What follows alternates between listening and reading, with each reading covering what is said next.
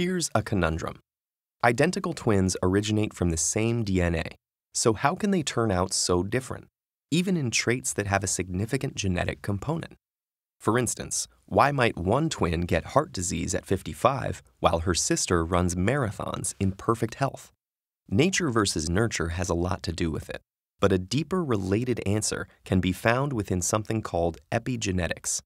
That's the study of how DNA interacts with the multitude of smaller molecules found within cells, which can activate and deactivate genes. If you think of DNA as a recipe book, those molecules are largely what determine what gets cooked when. They aren't making any conscious choices themselves. Rather, their presence and concentration within cells makes the difference. So, how does that work? Genes in DNA are expressed when they're read and transcribed into RNA, which is translated into proteins by structures called ribosomes. And proteins are much of what determines a cell's characteristics and function epigenetic changes can boost or interfere with the transcription of specific genes. The most common way interference happens is that DNA, or the proteins it's wrapped around, gets labeled with small chemical tags. The set of all of the chemical tags that are attached to the genome of a given cell is called the epigenome. Some of these, like a methyl group, inhibit gene expression by derailing the cellular transcription machinery or causing the DNA to coil more tightly, making it inaccessible. The gene is still there, but it's silent.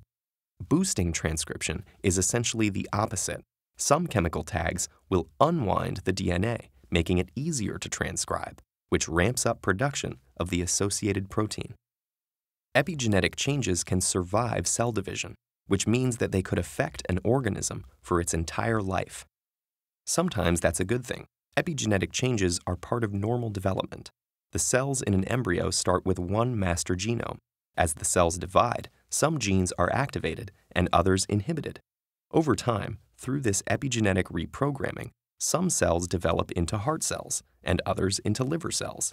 Each of the approximately 200 cell types in your body has essentially the same genome, but its own distinct epigenome. The epigenome also mediates a lifelong dialogue between genes and the environment. The chemical tags that turn genes on and off can be influenced by factors including diet, chemical exposure, and medication. The resulting epigenetic changes can eventually lead to disease if, for example, they turn off a gene that makes a tumor suppressing protein. Environmentally induced epigenetic changes are part of the reason why genetically identical twins can grow up to have very different lives.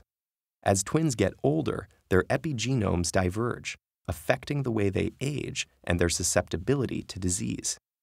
Even social experiences can cause epigenetic changes.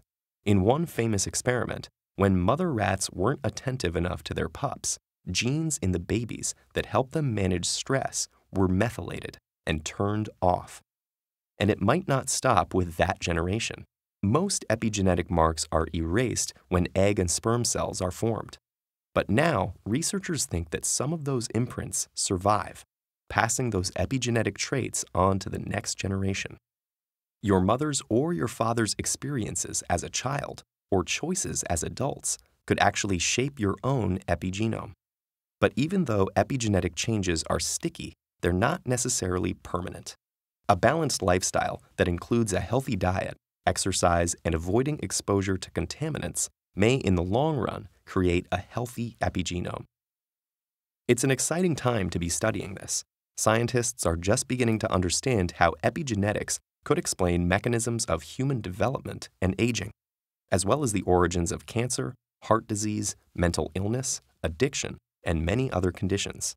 Meanwhile, New genome editing techniques are making it much easier to identify which epigenetic changes really matter for health and disease. Once we understand how our epigenome influences us, we might be able to influence it too.